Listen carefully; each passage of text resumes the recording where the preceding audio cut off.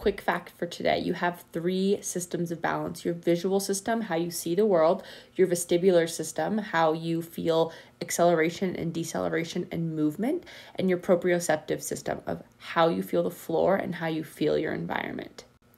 These three systems work together all the time to keep you upright. If something goes wrong, you'll know it because you'll feel imbalanced, like you don't have equilibrium, and dizzy. It can also cause brain fog and vertigo. Treatments like vestibular rehab therapy and vestibular group fit can help you regain your independence, your control, and decrease your dizziness.